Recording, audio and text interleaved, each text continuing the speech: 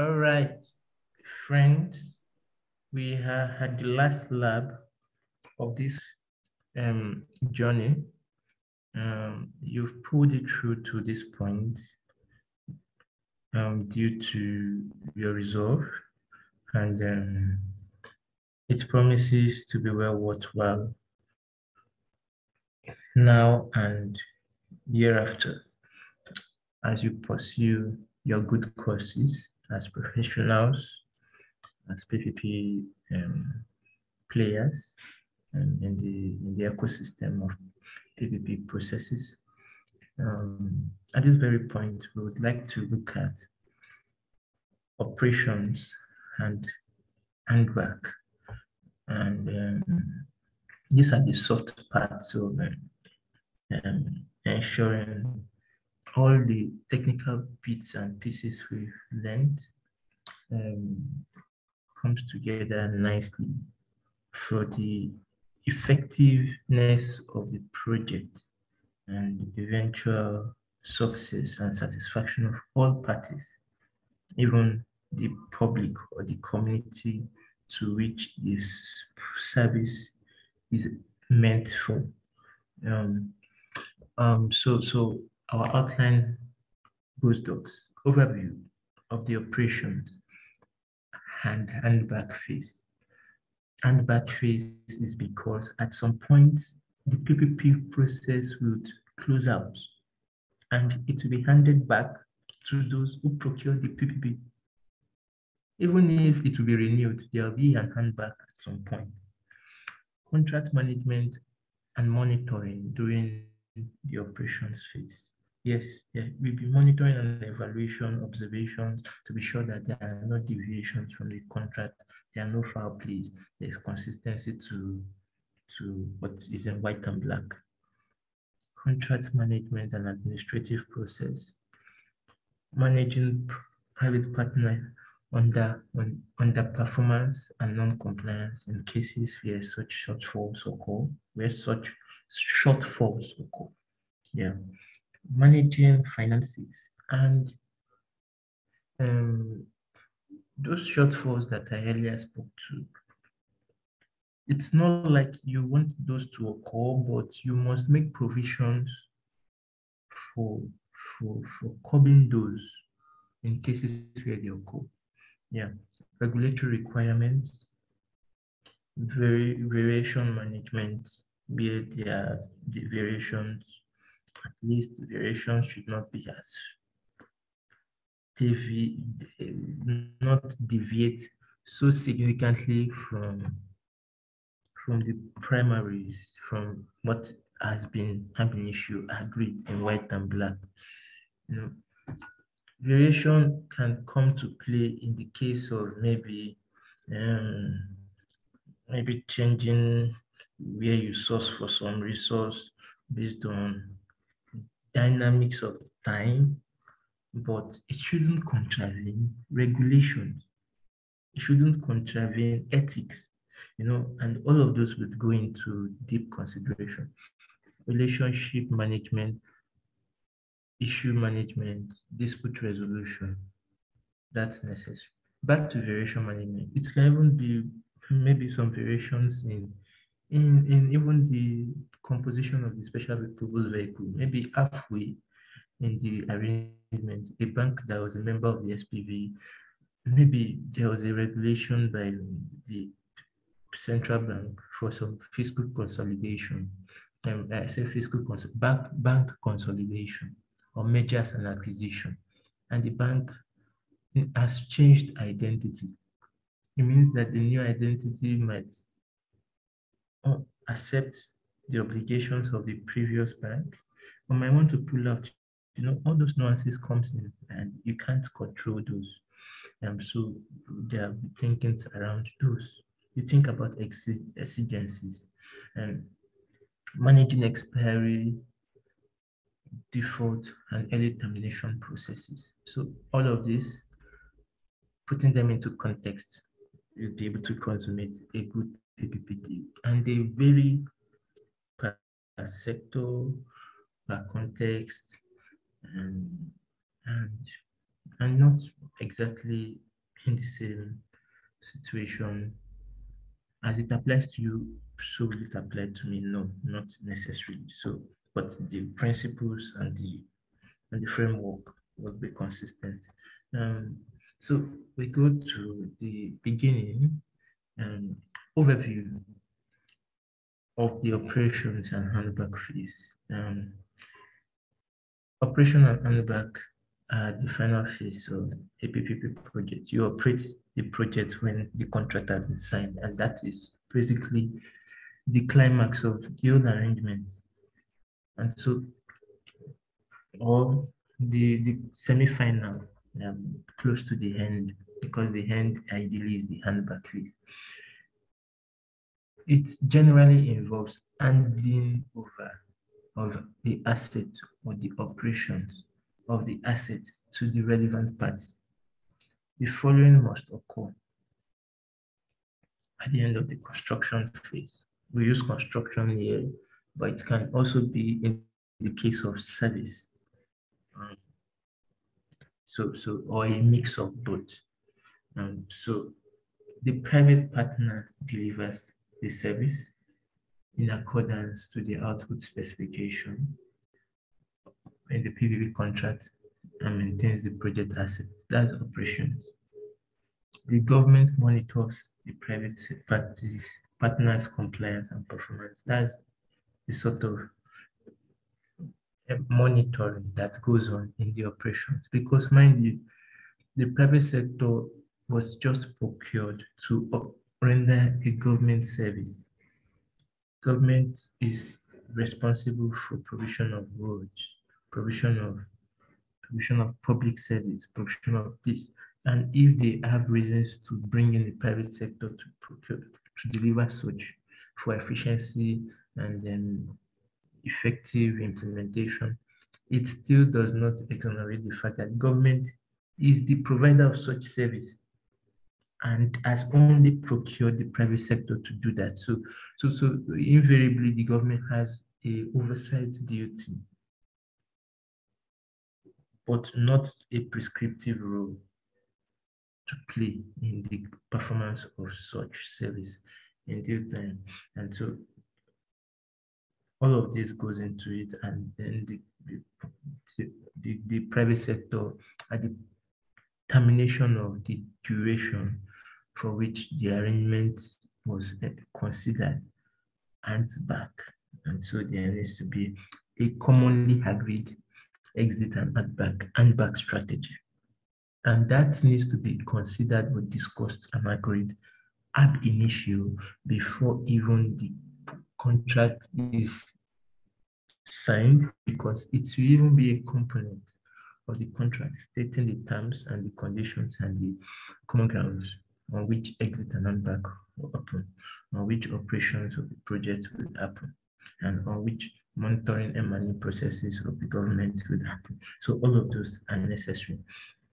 So contract management and monitoring during the operation phase um, helps to ensure or curtail propensities of poor management and project failure. Yeah, so uh, such negative outcomes in the absence of this would not be uh, will not be helpful in the interest of the public, the, the government paying for services which are not being received or are not being performed satisfactorily is a negative for the public because it is public money. And even if the government is not making explicit payments, maybe the government is making commitments in kind, those have opportunity costs. And so if the project is not being satisfactorily delivered, the opportunity costs of those commitments from the government is a loss to the public who the government is obligated to. Because the opportunity cost means government could have re received more taxes, more, dis uh, more, more, more, more commitments that had to the fiscal coffers. And so we want to be sure there are no room for slack. Government being unable to foresee operations and management of contractors, uh, operation and management failures of contractors, and contingency measures, um, and failing to put contingency measures in place is also a cost to the public. So, in case where the government wasn't in the know that there could be chances for down to maybe they procured the service of a unionized of a unionized private sector player or a sector that's heavily unionized. And and the, uh, maybe in the case where the unions are erratic randomly not even the private party but the union and through the pressure influence, the private party is obligated, you know, to, to those nuances need to be looked into to be sure everything necessary for val- delivery of value to the public is not compromised. Um, so, so that's that. Sound project management is therefore crucial for successful PPP delivery. Um, so it helps to ensure monitoring and management of project delivery, performance against service output, and monitoring and managing changes, managing disputes, managing handover processes at the end of the contract. That's going to be necessary to keep everyone on the same page.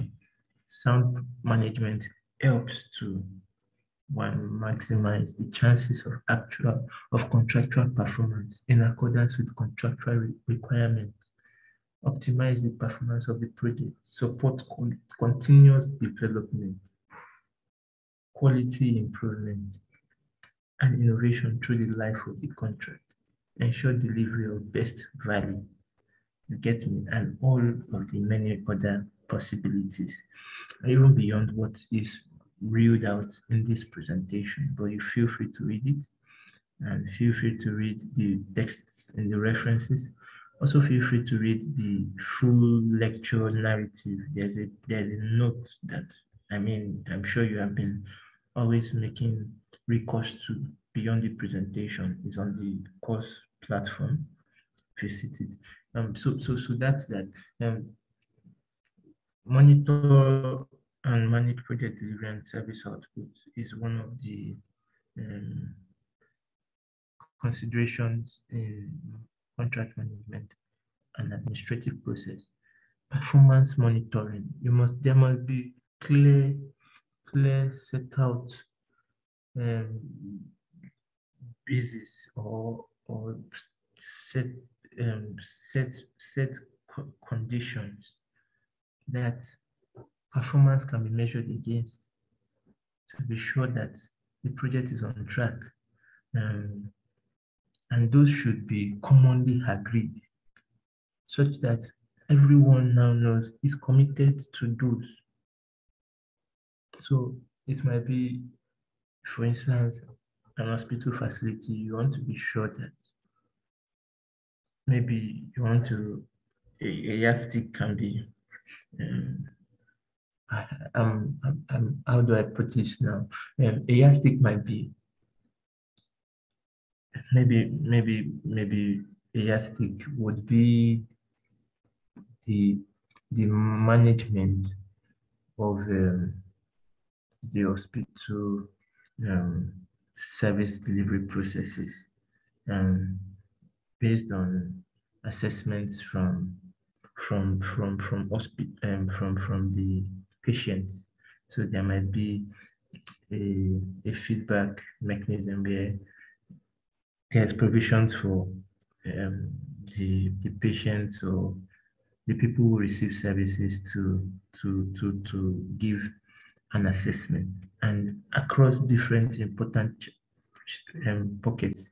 Oh, maybe the service, the Servicom session, they are, they are punctual, they are up and doing, and you want to be sure that they don't have a shortfall of less than 70% assessment on punctuality in that aspect, in that session. Or maybe the cash or boss the, the cash cashier session where payments are made, they are efficient. There are no kickbacks, there are no overcharge. And all we want to be sure that and there are rooms for assessment. I'm just eh, in in thinking and giving you possibilities of such monitoring and evaluation of monitoring procedures. And this this there's a breadth of room for innovation and creativity on how this can play out. The monitoring performance system is primarily focused on service performance, but it will also track and monitor other breaches of contracts. So we need to think through it to be sure that we are not oblivious of the adequacy or inadequacy in the project delivery by private sector or even otherwise. Um, if the level of service performance is under the required standard or the penalties or deductions that might be applicable in case where such shortfalls are, they need to be clearly stipulated. To, there, there might be arrangements for carrots and stick, and those need to be clearly stipulated, and then the measuring and monitoring measures, arrangements for those should be also clear. So, so we need to think about that, and um, and it needs to be negotiated and commonly agreed. And you see, the beauty of these process is it's not like a private sector can be so vested and doesn't want merit because he is not the only one that is under consideration. Maybe at the last stage, there might be five, five, five prospects that are good for the project, but we just need one. So every private partner is wearing his thinking hat, very reasonable, because when he gets it wrong, it might just be um, disqualifying he himself. Um, sorry, I'm using he or she for for to to characterize um, an entity, but that's the message I'm trying to get across. Um, so um, putting all this into consideration helps managing changes not provided for in the PPP contract. You know, no matter how watertight such contract might be, it can be pretty sure that there might still be miscellaneous, still be one or two things that have slipped off the crack, not because of negligence or inadequate planning or structuring, but in such occasions, there would be provisions to see how to manage that and there should be con common common consensus on if such should occur. How do we put this into context? How do we manage for this? In such cases, the contract management manual should clearly state what procedure needs to be followed or who the implementer or decision taker should be. See, and the beauty of it is that if we follow all of the considerations from module 1 to module 4.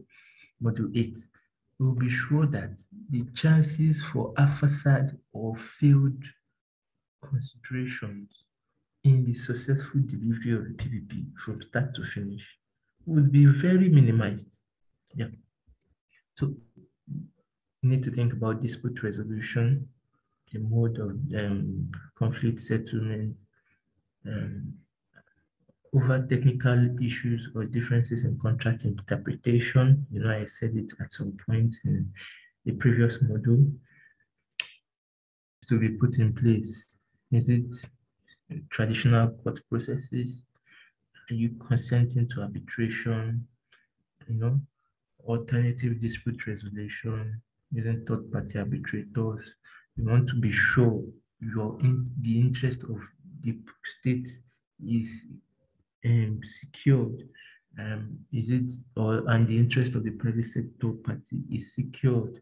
Is it an is it an in-house arbitrator that must be consulted as the arbitrage party, or is it an external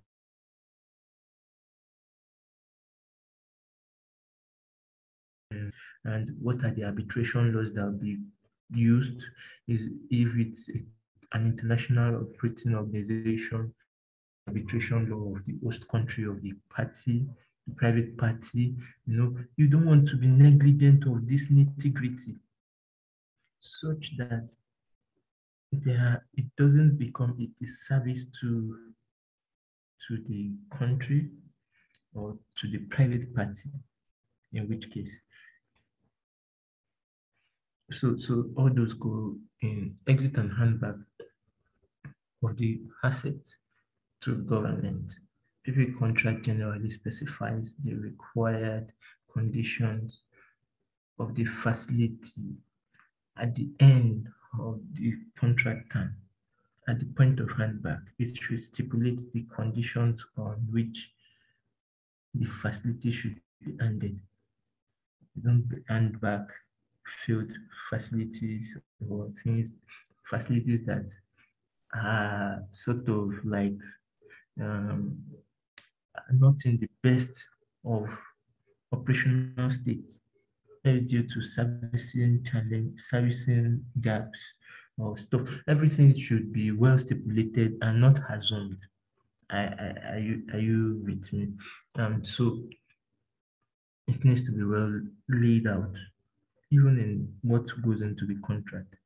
To manage the financial risk associated with handback, some PPP contracts require the private sector to establish handback reserve account that begins to accrue towards the end of the contract. This may be used for planned unplanned repairs required prior or shortly after the facility is handed back to the government. Uh, and many times, government might renew the PPP arrangement and is not obligated to renew it with the same operator.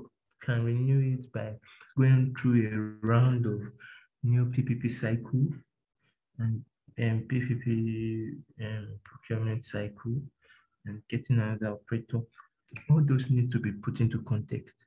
Government want to be sure that if it chooses to bring in a new operator after the legitimate closeout of the initial PPP contract, the exiting PPP operator is not doing something disadvantageous to the successful operation of any new PPP operator who might come in to continue the process or anything disadvantageous to the government if the government so chooses to continue operating the project by the, the, the, the service directly by itself. So, so all that needs to be clearly um, laid out without assumptions. Um, so, so, so we, partners need to be compliant with process. Typical mechanisms used to deal with non-compliance and contract breaches are usually mechanisms that have that have financial consequences, carrots, sticks, and particularly sticks in this case.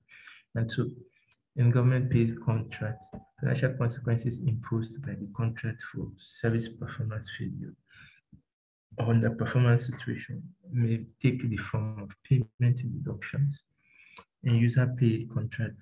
Financial consequences due to lack of performance will most often result in penalties through penalty systems, maybe through uh, some some fines placed by the court stuff, or even through the arbitral charges that will be levied on the non-compliant party in the contractual arrangement.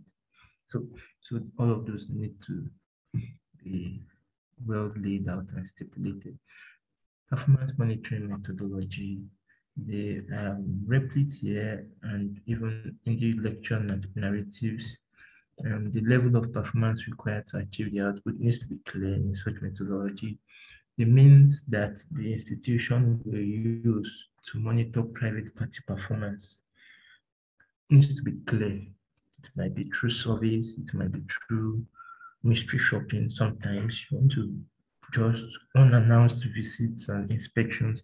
It's it's it's a broad basket. I mean, but it needs to be clear that it might not be prescriptive that we must always do it like this, but the government can stipulate a set of policy options, or the private sector can stipulate a set of possible plausible considerations such that it's always best to monitor when the the the the, the other party is not so so cautious of your monitoring. So so that you can really see the true picture of things. Um, because if your party knows what you will do when you monitor and you monitor you know it's not out of place. They would have a measure of knowledge. But if they know fully whether it's through visitation and you are serving them later of your all those might compromise the quality of assessment and genuine judgment. It may not be through public feedback. I want to really hear the public. What because the public had the eye of the government seeing the undoings and the effectiveness of the projects. So they want to take all those into context and be sure that you are in the, the either party is in the interest of the public serving value to everyone. The consequences for the private partner private partner of a failure to meet um, required le level, or maybe that connotes poor performance, might mean, in some cases, even termination of the contract if, if, if it's so grievous. Um, but those terms should be provided in the contract. So in the case of default, it might you know, there are ways the legal clauses are stipulated. It might imply a termination or seizure of the existing arrangement. It might imply arbitrage or legal actions. You know, those things needs to be clear. No assumption. No, no, no, no, no, no, no looseness about those. Um, um, so, so you, you, you, you see, as we've earlier said, mystery shoppers, sampling, many things could go into helping to assess um, compliance to a process. Um, guys, you can always uh, subsume yourself into the depth of this. Um, I have pretty much um, touched on everything that can cautiously be um, communicated even across slides here to be looked into. Um, but certainly nothing is left uncovered. Um, for due diligence as a student, we really don't want to we want to domesticate the learnings deeply